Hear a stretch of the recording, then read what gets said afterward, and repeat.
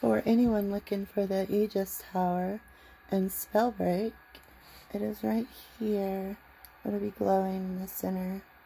If you look at your map, and where I'm at right now is right above Evengard. So anyway, good luck.